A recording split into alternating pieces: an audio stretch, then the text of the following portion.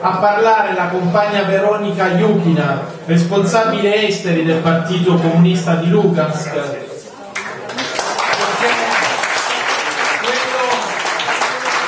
quello che sta avvenendo in Donbass quello che sta avvenendo in Donbass scuote la coscienza non solo dei comunisti ma di tutti i democratici è qui che l'Unione Europea getta la maschera e svela il suo piano autoritario e antidemocratico, nemico dei popoli e delle lotte. La accogliamo con un applauso e con tutta la nostra vicinanza e solidarietà internazionalista.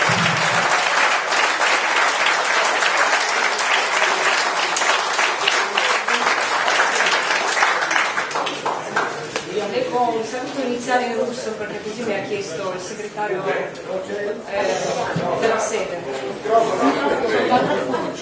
Pronto? Leggo soltanto le prime due frasi in russo per Помакс Зотика. Э, Дорогие товарищи, приветствую вас от имени коммунистов Луганской Народной Республики. Мы признательны организаторам за возможность принять участие и рассказать о нашей работе на Донбассе. Eh, cari compagni, a voi tutti i saluti dei comunisti della Repubblica Popolare di Lugansk. Vi siamo grati per averci dato la possibilità di partecipare ai vostri lavori e parlarvi del nostro lavoro nel Donbass. Актуальная повестка дня для конференции, состав ее участников делает собрание весьма значимым мероприятием не только для политической жизни Италии и Европы, но и для нас, коммунистов и жителей Донбасса. Такая площадка для свободного высказывания своей позиции, обмена мнениями, опытом, выработки совместных идей, планирования будущей работы очень важна для левых сил Европы в деле их общей борьбы против капитализма за справедливое будущее социализма. Нас объединяют общие вызовы, общие проблемы и общие цели. А значит, именно так, в братской поддержке мы сможем успешно преодолеть все трудности и прийти к победе. Уверены, что конференция будет содействовать укреплению международного сотрудничества, а ее результаты найдут воплощение на практике. Желаем всем участникам плодотворной работы. Лидер луганской, э, луга- луганских коммунистов Максим Чаверко. L'attualità dei temi all'ordine del giorno della conferenza, la composizione dei partecipanti ne fanno un'iniziativa importante non solo per la vita politica in Italia e nell'Europa, ma anche per noi comunisti e cittadini del Donbass. Una piattaforma di libera espressione delle proprie posizioni, di scambio di opinioni, di esperienze, di elaborazione di idee comuni, la pianificazione del lavoro futuro sono molto importanti per tutte le forze di sinistra dell'Europa e parte della comune lotta contro il capitalismo per un futuro più giusto e per il socialismo. Ci uniscono sfide comuni, ci uniscono, ci uniscono sfide comuni, problemi comuni e comuni obiettivi finali. E proprio così ciò significa che nel sostegno reciproco e fraterno noi riusciremo a superare le difficoltà e raggiungere la vittoria. Siamo profondamente convinti che la conferenza contribuirà al rafforzamento della cooperazione internazionale, i suoi risultati troveranno la propria realizzazione nella prassi quotidiana. A tutti i partecipanti auguriamo un fruttuoso lavoro. Il Presidente del Partito Comunista di Lugansk, Maxim Chalenko.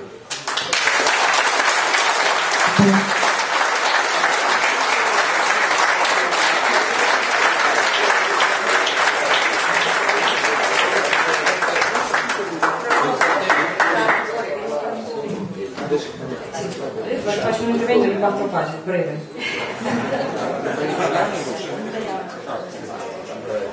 Cari compagni, buon pomeriggio.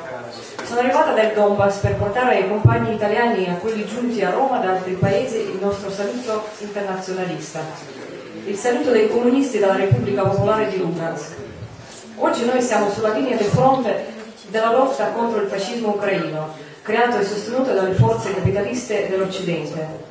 In Donbass c'è ancora la guerra e nonostante gli accordi di Minsk ogni giorno muoiono delle persone.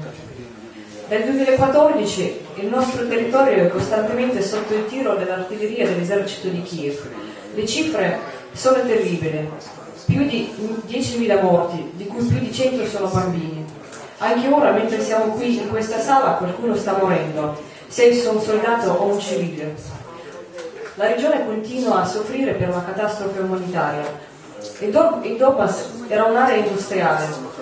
circa il, percento, circa il 50% dell'industria pesante ucraina si concentrava qui.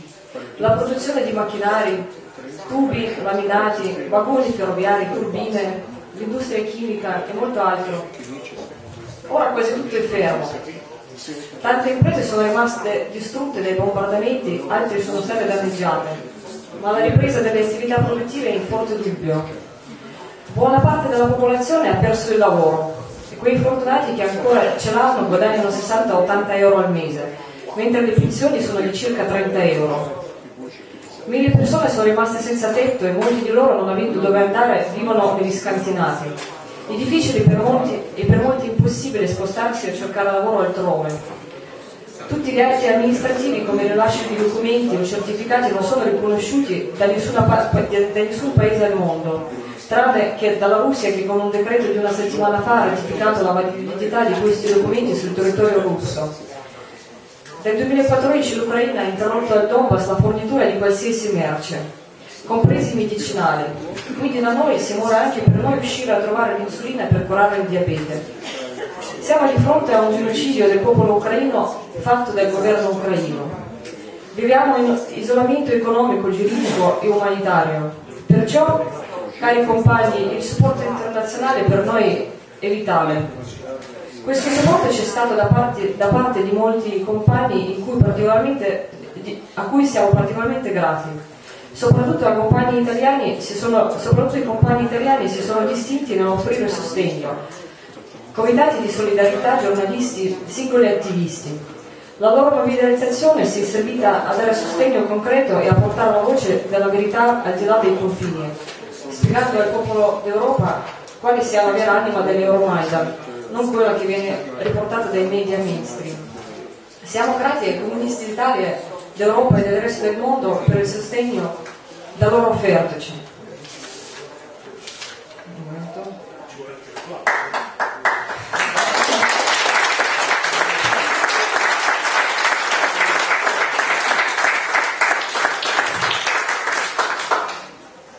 Il Donbass non è nella UE né nella Nato e mai ci sarà. Forse il nuovo corso dell'Ucraina porterà il Paese ad aderire a queste organizzazioni, ma non noi, perché ci siamo sollevati in armi anche contro questa prospettiva. La nostra insurrezione era per dire no al fascismo, ma anche al capitalismo, e per questo abbiamo fondato una Repubblica Popolare. Ovviamente non vi stiamo dicendo che dovete fare lo stesso. Al momento nella Unione Europea non ci sono le condizioni per tale prospettiva, ma possiamo offrire da un lato un'esperienza diretta dall'altra qualche spunto di riflessione formulato da un punto di vista esterno, quindi libero condiz- da condizionamenti di sorta. Non ha senso sganciare la battaglia per l'uscita della UE con, con quella contro la Nato, non tanto perché le due organizzazioni sono complementari e si sostengono a vicenda e quindi una sconfitta dell'una determinerà un indebolimento dell'altra, quanto per un motivo più profondo queste organizzazioni non sono altro che strumenti del sistema capitalistico internazionale. Il primo uno strumento economico e l'altro bellico, ma entrambi funzionali allo stesso progetto di dominio politico, economico, culturale e militare. Gli strumenti sono fungibili. Quando guasti, usurati, obsoleti, inadatti si possono tranquillamente sostituire. Quindi se concentriamo i nostri sforzi sul, solo, solo contro la UE e NATO, e la Nato, pur vincendo le nostre battaglie, non metteremo in crisi il sistema che saprà rapidamente dotarsi di nuovi strumenti alternativi. L'unico modo per cambiare davvero le cose è di mirare al cuore del problema, colpire il sistema, capitalistico, e colpire il sistema capitalistico, mettendo, mettendolo in crisi, poi anche i suoi strumenti di dominio diventeranno inesorabili.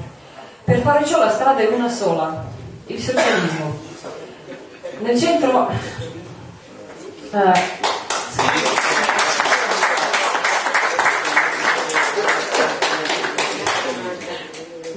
nel, centenario della rivoluzione d'ottobre ribadiamo che l'alternativa è ancora tra il socialismo e le barbarie. Costruiamo insieme un percorso di lotta internazionale che possa indicare la strada per la sconfitta del capitalismo in ogni parte del mondo e una vittoria per tutta l'umanità. Coordiniamo le nostre lotte sostenendoci a vicenda. La Repubblica Popolare che ora stiamo costruendo è la dimostrazione che un secolo è passato ma la lezione d'ottobre è sempre attuale. Brava, brava.